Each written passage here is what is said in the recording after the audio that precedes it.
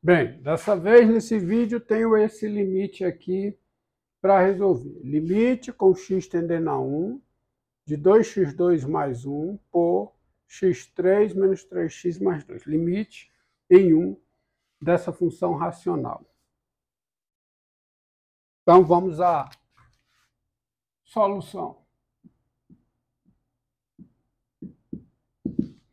Vamos encontrar esse limite aí. Primeiro você observa o seguinte. Tens limite do numerador 2x2 mais 1 com x tendendo a 1 é igual a 3.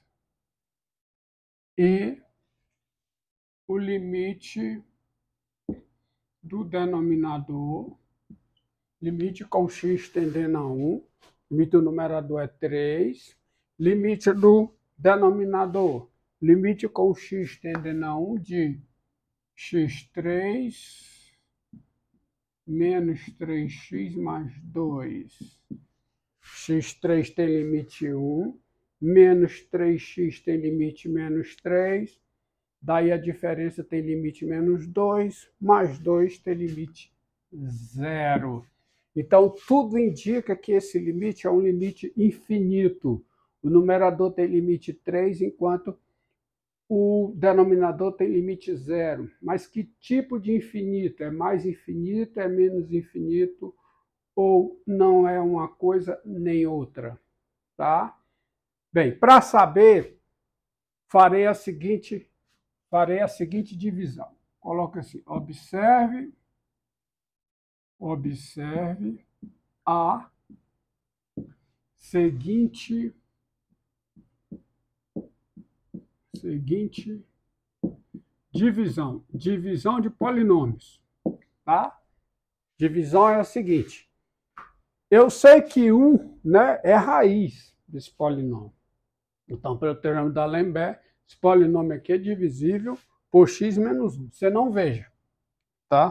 Destacar em azul a divisão é x3 menos 3x mais 2, dividindo por quem? Por x menos 1. Qual o procedimento? Tá? Oitavo ano do ensino fundamental. x3 por x dá x2. x2 vezes x, x3, eu coloco menos x3. x2 vezes menos 1, menos x2, coloca-se mais x2. A primeira soma dá o quê? Menos x3 cancela com menos x3, ó. Esse vai embora com esse, tá? Com um pincel na minha mão de forma que eu fico com o quê?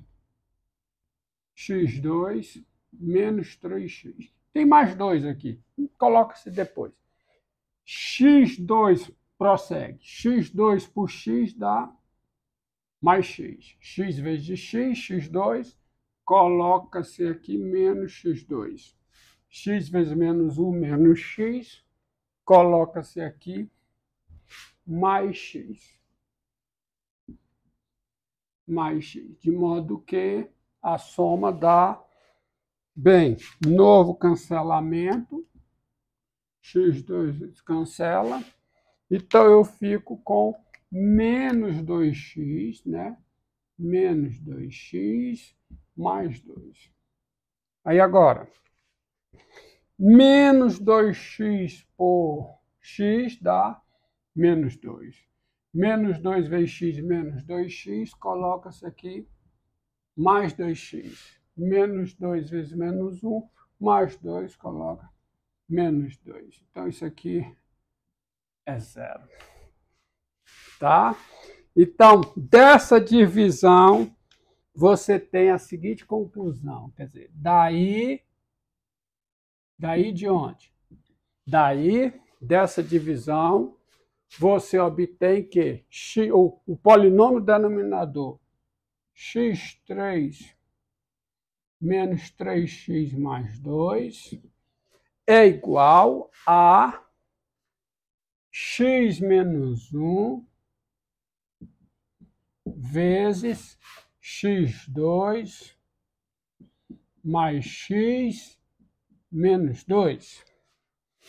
Só que eu ainda consigo fatorar mais, porque esse polinômio aqui tem duas raízes reais, polinômio quadrado. Dois números somados dá menos 1 e que multiplicados dá menos 2. Quais são? 1 e menos 2. Então, isso aqui é igual a, vou continuar aqui, fica x menos 1 vezes, fatoração desse, dá quanto? X menos 1 vezes x mais 2.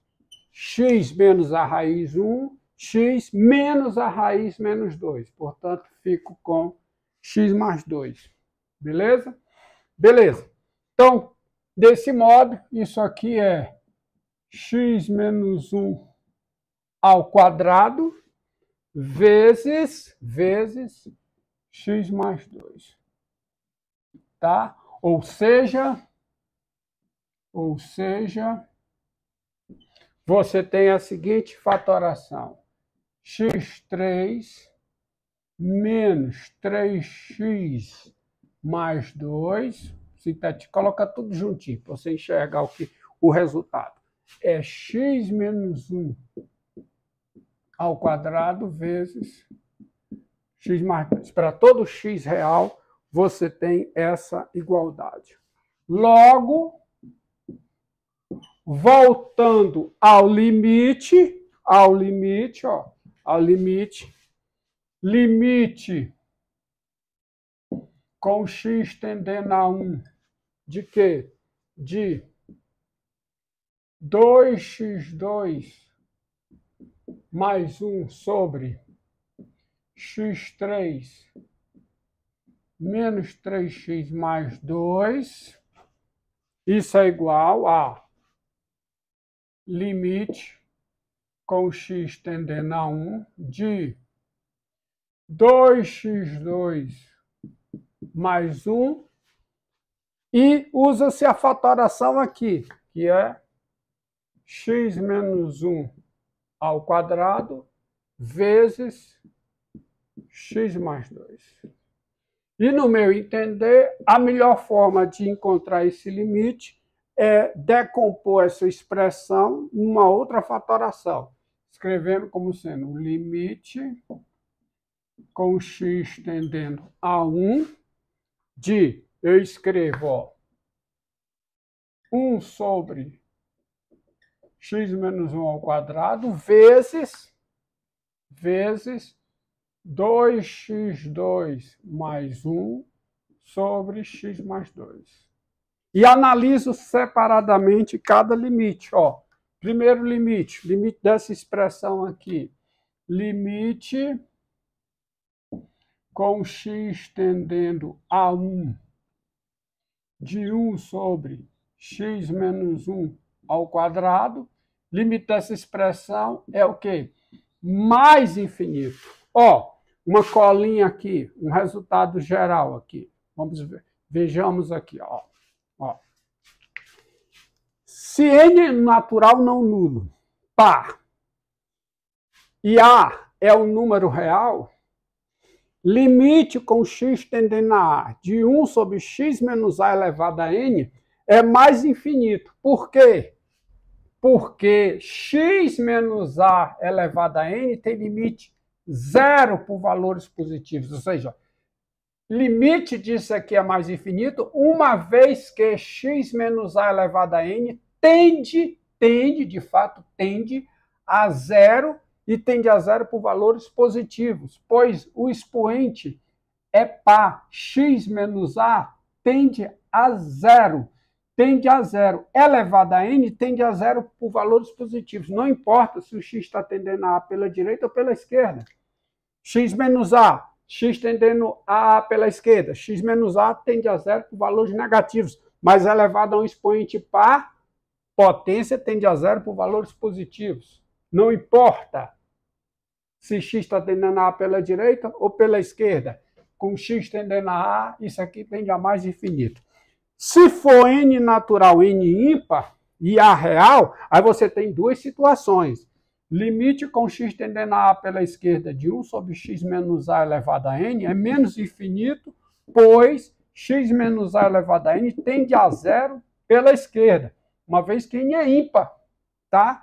x tendendo a A pela esquerda, x menos A tende a zero por valores negativos, elevado a expoente ímpar tende a zero por valores negativos. E pela direita, esse limite é mais infinito. Por quê? Porque o denominador tende a zero por valores positivos, uma vez que o n é bem, uma vez que, desculpe, uma vez que x tendendo a A pela direita, x menos a tende a zero por valores positivos. Elevado a um expoente ímpar, tende a zero por valores positivos. Então, observe que esse limite aqui, nessa situação, Vou, vou deixar a, o quadro aqui para você enxergar e a conclusão. Ó. Limite de 1 sobre x menos a ao quadrado é mais infinito. Quanto é o expoente? O expoente é 2.